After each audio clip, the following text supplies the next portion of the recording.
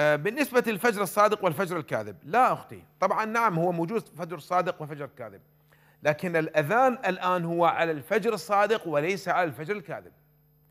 الفجر الصادق والفجر الكاذب لا يميز في المدن إنما يميز يميز في الصحراء وفي البحر. في البحر لأنه لا توجد مباني وكذلك في الصحراء لا توجد مباني. يميز. الفجر الكاذب هو جزء من الليل.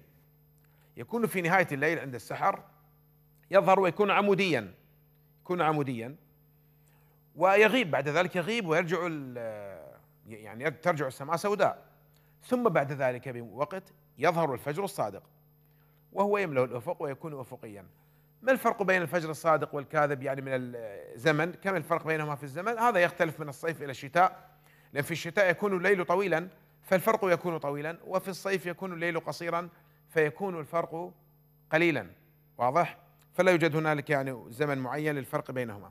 لكن الأذان الذي نسمعه الآن لا هذا أذان الفجر الصادق.